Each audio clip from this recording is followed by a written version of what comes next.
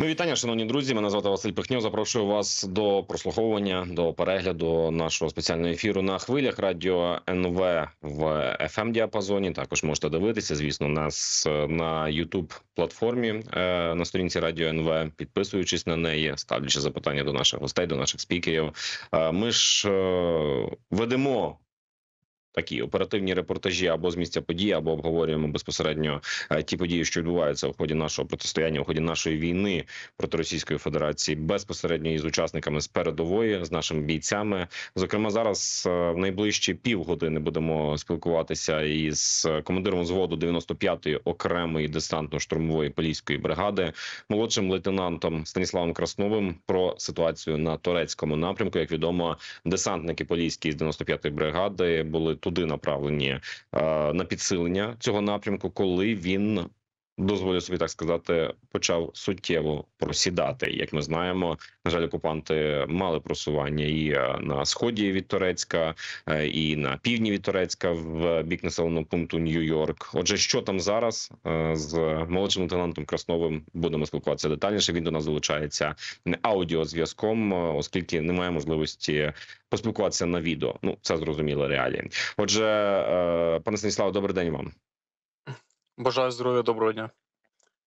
Розкажіть нам детальніше про те, що зараз маємо на турецькому напрямку. Чи можна говорити про певну стабілізацію ось е, цього спрямування? Тому що е, останні кілька днів я бачив, як зокрема і представники прес-служби вашої бригади 95-ї публікували відео фактично боїв, як зазначається зачистки в межах населених пунктів.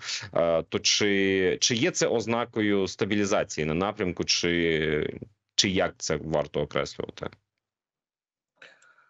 Ну, з приводу того, що бойові дії не зменшуються, інтенсивність їх продовжує бути дуже великою. Окупанти продовжують намагатись прорвати нашу лінію оборони. Вони наступають постійно цілодобово, вдень і вночі, в основному великими піхотними групами.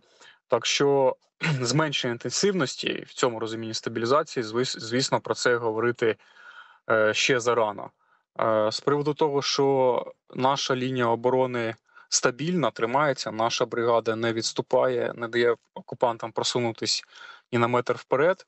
Е, це так і є. Вже досить довгий час, як ми зайшли, е, ми не даємо їм просуватися. Але чи є це стабілізація? Ну навряд чи окупанти все одно накопичили великі резерви, намагаються прорвати нашу лінію оборони і. До того, що тут буде затища, зменшення інтенсивності, ще говорити дуже зарано. Ну, власне, я тут е, радше вів до того і став запитання про стабілізацію. Це якраз таки чи є можливість стримувати їх е, окупантів мається на увазі на тих е, рубежах, на яких умовно кажучи, зайшла бригада, і чи є в них просування? От саме це я, я так умовно кажучи, по цивільному називав стабілізацією, що ворог не проривається далі, не проривається вглиб, не просувається далі. Тобто, чи можна говорити про такий рівень умовної скажімо так, стабілізації або стабілізації лінії бойового зіткнення, якщо так е, правильніше буде висловитись. Е, так, е, на лінії відповідальності нашої бригади можна казати, що певною мірою ми не даємо їм просуватись, що ми їх на даний момент зупинили. Ви, до речі, висловилися про те, що великими піхотними групами окупанти атакують. А от великі це скільки? Це як це все виглядає? Е, великі це більше десятка, десяток, два десятка, може навіть і більше бути. Вони тут обрали таку тактику, ставку виключно на піхоту. На інших напрямках, е, наприклад, там в Лиманському напрямку, на Купінському напрямку, вони теж в основному діяли піхотними штурмами, але вони просувались невеликими піхотними групами 3-5 людей, е, користуючись місцевістю, лісом, в основному посадками. Тут вони чомусь обрали таку стратегію. Вони, скоріш за все, намагались просто масою задавити, закидати гарматним м'ясом е, наші позиції оборонні. Е, Техніку вони тут не використовують, е, майже не намагаються, можна сказати. Тому що попередні рази, ну, я так думаю, що причина того, що попередні рази вони понесли великі втрати в техніці, саме через роботу нашої артилерії, протитанкових розрахунків, ударних БПЛА, які десятками знищували танки. Зокрема, наприклад, на Лиманському напрямку в районі в районі Торського, Невського. Вони там е, цілі перехрестя були заставлені танками по 3-5 танків в одному місці. Там десятки були спалених танків. Напевно, вони тут не стали ризикувати, повторювати цю ситуацію. Піхоти у них все одно величезна кількість, вони її не жалкують абсолютно, витрачають як розхідний матеріал. Е, І відповідно вони думали, що вони тут можуть е, досягти успіху, накопичивши величезні резерви і кидаючи е, на нас їх. Ну, до речі, знаєте, з'явилася на вихідних е, публікація у Washington Post про те, що мовляв новий наступ, ось цей наступ. Його важко назвати новим, тому що е, що брати за відправну точку е, наступу росіян. Мені здається, що логічно і справедливо буде говорити ще про початок їхніх наступальних дій на під Авдіївкою, відколи там все розпочалося з 10 жовтня 23-го року. Якщо мені не зраджує пам'ять, триває по суті, що російський наступ, а то ще раніше не лише Авдіївкою варто вимірювати. Тим не менш. Е, Нинішні просування росіян е, вони або тактика росіян, радше те про що пише Washington Post, що вона дещо видозмінилася. В- Американці називають її більш вдосконаленою і такою, що дозволяє досягати росіянам успіхи. Про що йдеться? Що мовляв, якщо раніше вони просто кидали людей у тривалі, е, пов'язані з великими. Втратами особового складу, те, що ми називаємо м'ясні штурми, то зараз е, росіяни вдосконалилися і почали здійснювати одночасні та взаємопідсилюючі е, штурми. Ось такі нехай і піхотні, але одночасні та взаємопідсилюючі. Чи відчуваєте ви на турецькому напрямку справді ось цю певну синхронізацію дій противника? Е, І наскільки це ну таке масове явище, що ці речі доходять аж, скажімо так, до публікації в американських змі? Ну, на мою суб'єктивну думку, таке оціночне судження, е, що напевно не зовсім така тут ситуація. Різниця в тому, що вони просто збільшили кількість цих штурмів, збільшили кількість груп, тобто вони просто намагаються завалити е, кількістю, задавити масою. З приводу синхронізації я не бачу тут ніякої не синхронізації е, кращої в порівнянні з тим, де вони би на попередніх напрямках, десь на Куп'янському, на Лиманському напрямку. Е, Так само бардак, е, як і був, так і є. І по даним розвідки, по даним від полонених, у них там немає всередині якогось особливого там зв'язку стабільного.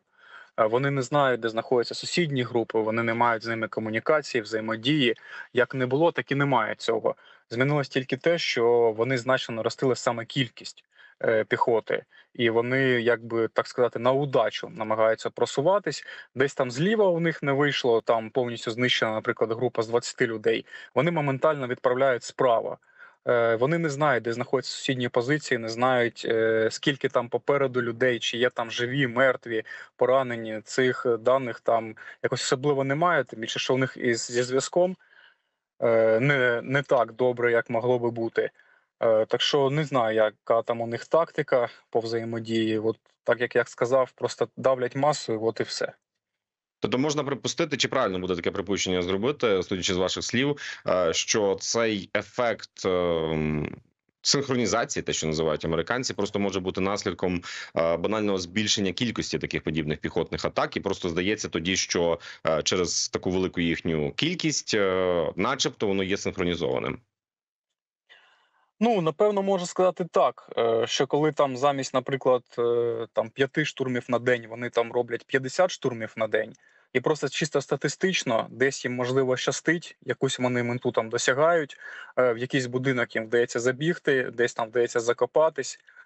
Чисто статистично, просто у них кількість переходить, можливо, що в якість, можна так сказати. Але це все за рахунок е, кратного в рази збільшення втрат з їх боку але знову ж таки вони абсолютно з цим не рахуються, їм все одно.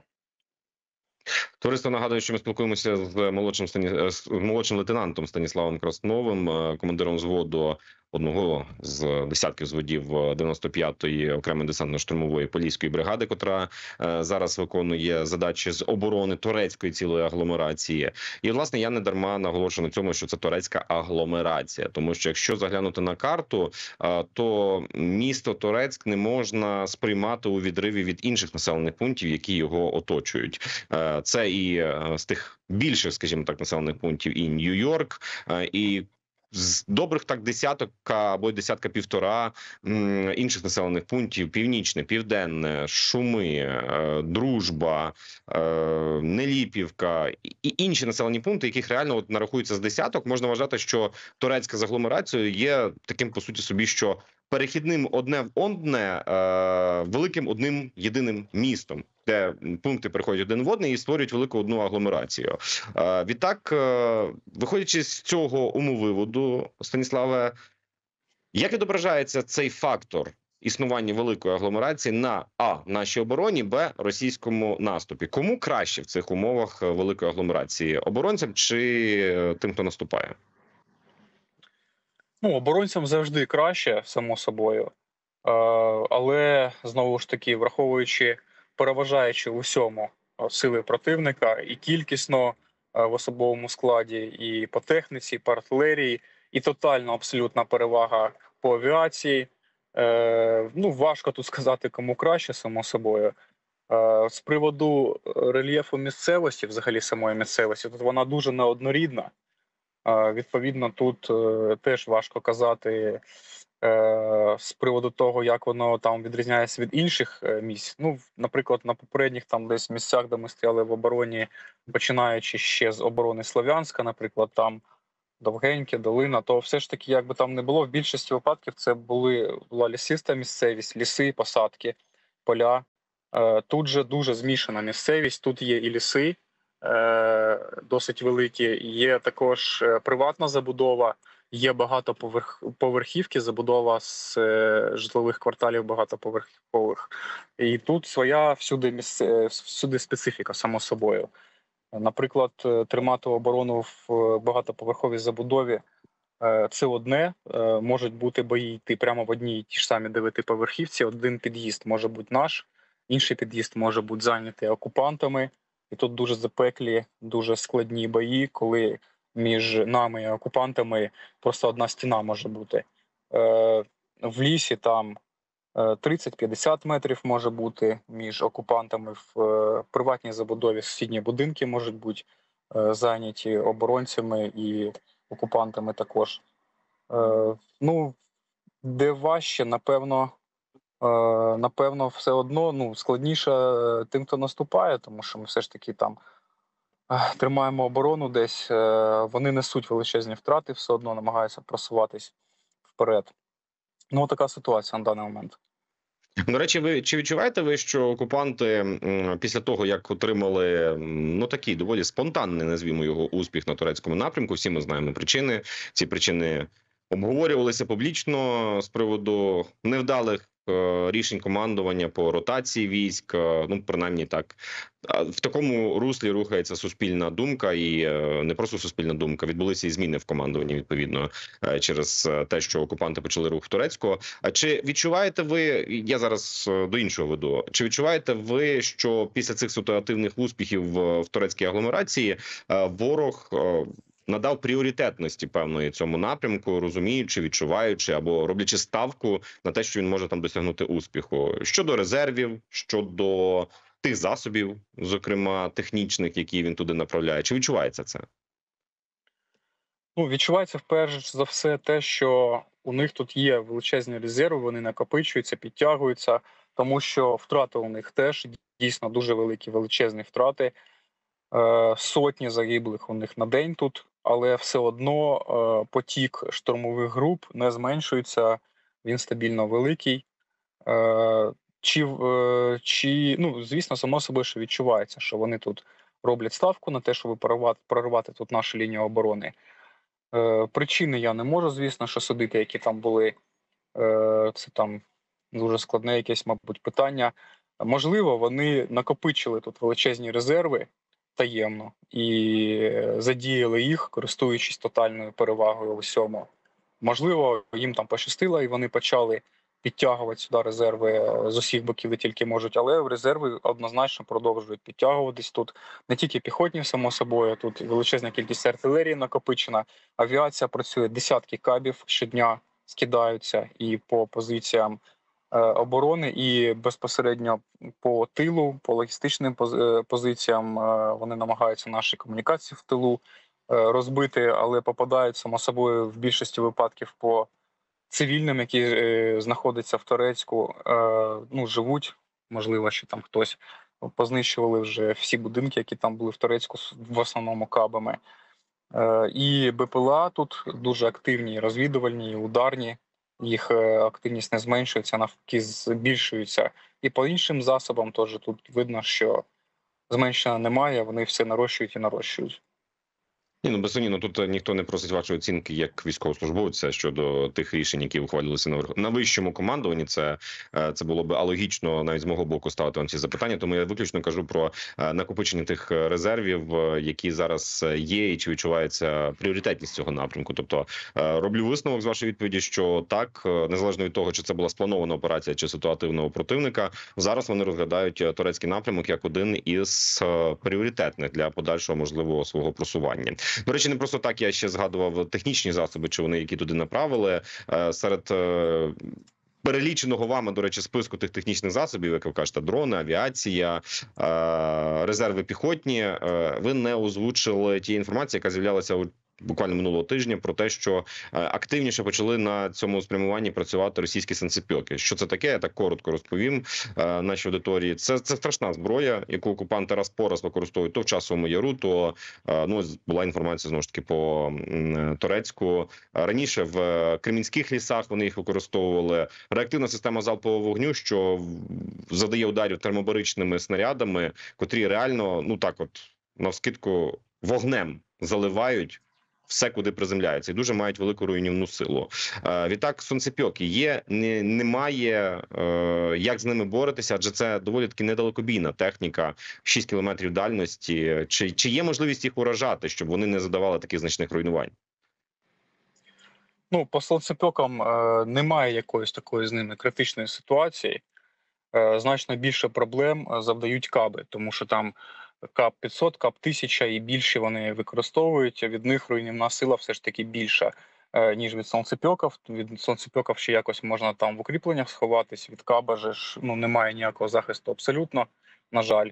Е, По сонцепьокам, ну якогось такого прямо переломного тут їх застосування чи якогось активного виняткового, принаймні ми е, не помічали. З приводу того, як з ними боротись, дійсно, що у них дальність пострілу невелика. Е, Відповідно, вони ефективно знищуються і контрбатарейною боротьбою, звичайною артилерією, і наші ударні БПЛА на них е, теж ефективно полюють і успішно. Е, Так що ну, періодично вони знищуються навіть тими ж самими FPV-дронами. Е, Нагадую, що спілкуємося з командиром взводу 95-ї окремої десантно-штурмової, названої Поліською бригадою, молодшим лейтенантом Станіславом Красновим про ситуацію щодо оборони турецької агломерації, де 95-ка зайшла на позиції, коли була доволі таки критична ситуація. І зараз ми справді можемо е, навіть е, суто найпростіший варіант, застосовуючи споглядаючи карту State, бачити, що значних просувань у противника немає. І от е, пан Станіслав теж згадував чимало про такі особливості, скажімо так, е, цієї турецької агломерації з приводу того, що там є дуже різні ландшафти, зокрема в числі. Тих ландшафтів, е, які е, є в районі Турецька, це ну щонайменше три терикони: один в населеному пункті Залізне, один у північному і один безпосередньо на сході Турецька. Терикони доволі високі, поза 200 метрів висотою. Чи є вони таким, чи можна їх вважати укріп районами, чи виконують вони якісь важливі функції? Тому що знаєте, я чому запитую? Адже свого часу при обороні Авдіївки йшлося про те, що е, поблизу Авдіївського коксохімічного е, комбінату е, Терикон не міг просто бути такою якоюсь укріпленою позицією, адже там ну неможливо окопатися, умовно кажучи, в тому в тій породі, яка там накидана на, на гору цього терикону. Якими є терикони Торецькі, чи виконують вони свої оборонні функції, не вдаючись у подробиці, не видаючи, звісно, додаткової інформації е, противнику, але просто для е, розуміння, чи є це так само елементами фортифікації в якійсь мірі проти противника?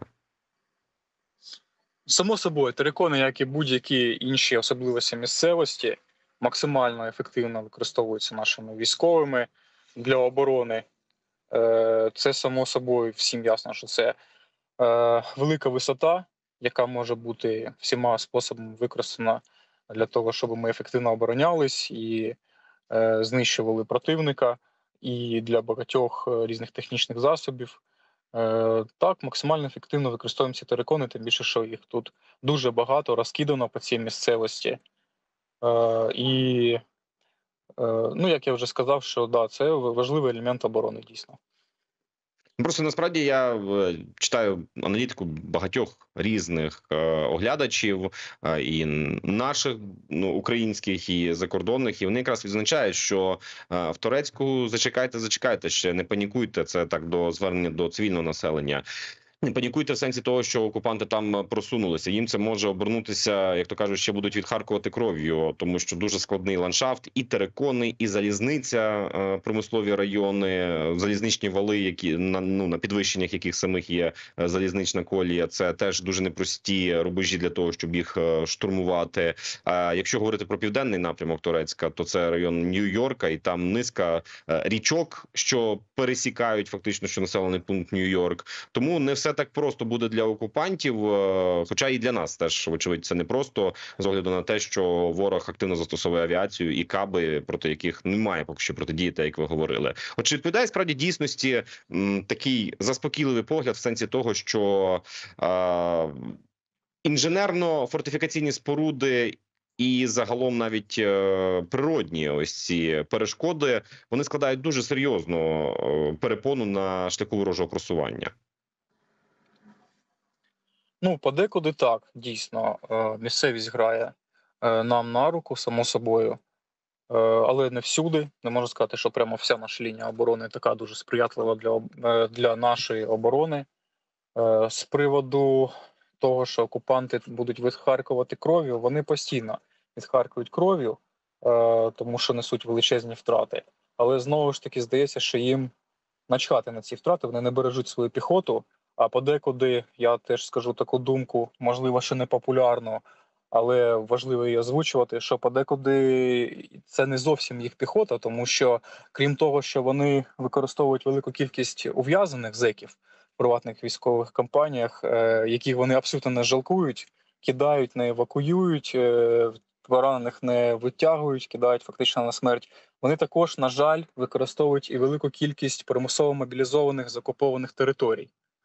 Це важлива тема, на мою думку, таку теж особисто суб'єктивно. І це те, що буде чекати в принципі загалом українців, якщо ми програємо цю війну. Е, само собою, що це не станеться, але оце наочний приклад. Тому що вони примусово мобілізовують чоловіче населення і в Донецьку, і в Луганську, тих людей, які можливо були абсолютно аполітичні, і вони не думали там не про війну, ні про що ні в що не втручались. От зараз вони кинуті гарматним м'ясом на нас, там тисячами вони гинуть, е, і росіяни, окупанти не жалкують їх взагалі, витрачають їх як патрони, як там якісь снаряди на е, артилерію. На жаль, от така ситуація стається.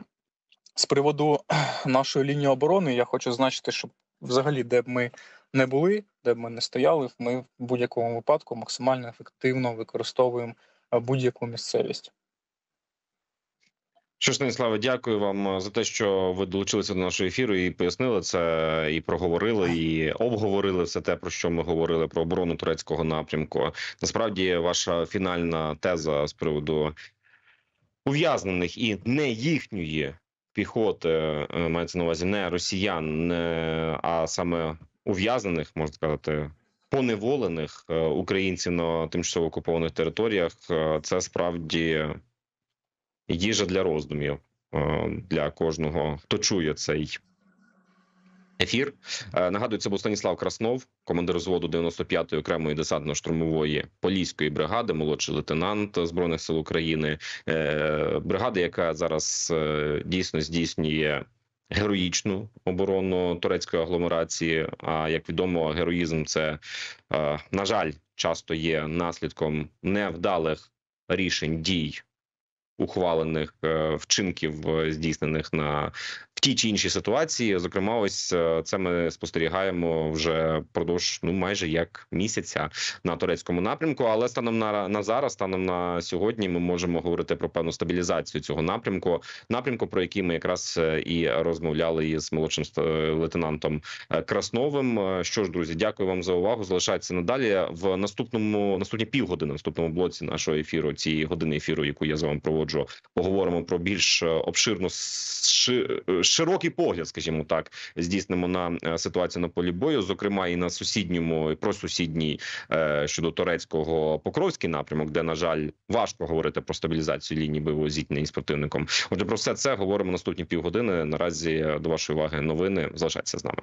Підписуйся на канал Радіо НВ ось тут.